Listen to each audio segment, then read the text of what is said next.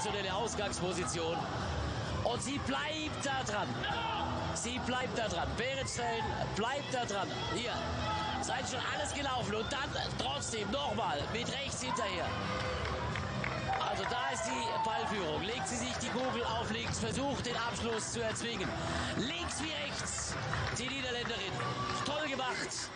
Und das